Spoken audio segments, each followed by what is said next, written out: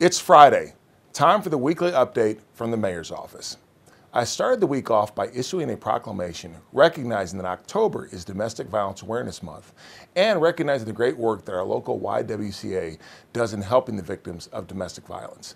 The folks from the YWCA were kind enough to give us a purple bow, which we will proudly display on the door of our office for the month. Next was a tour of the Frank G. Klinsky Center. It's a treatment a transitional living facility for men struggling with substance uh, misuse and addiction. There's really good work going on over there. Knoxville is hosting this year's Tennessee Recreation and Parks Association Conference.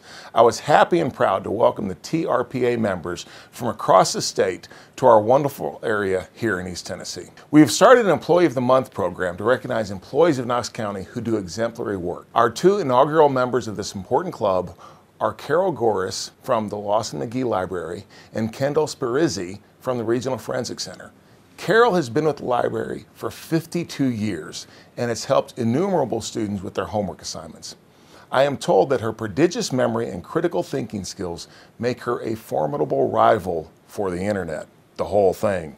Kendall has played a key role in keeping operations going at the Regional Forensic Center in what has been an extremely busy and stressful time for them. Congratulations to both Carol and Kendall for a job well done. Sheriff Spangler organized a tour of the county's detention facility for county commission members and me. We're facing some real challenges with bed space in our jails.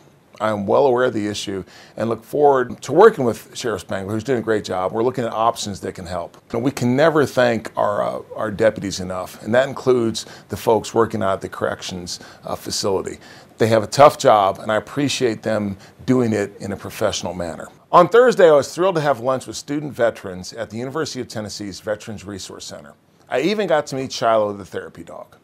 Later that night, I dropped by the Vols for Vets General Clifton B. Cates Scholarship Gala, and I was also honored to speak at the Veterans Appreciation Dinner sponsored by East Tennessee PBS.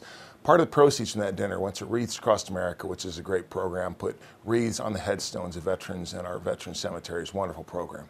This week's lunch was at Love That Barbecue in South Knoxville. Next week, I'll be at the Pizza Palace in East Knoxville. That's all for this week. Everyone have a great weekend.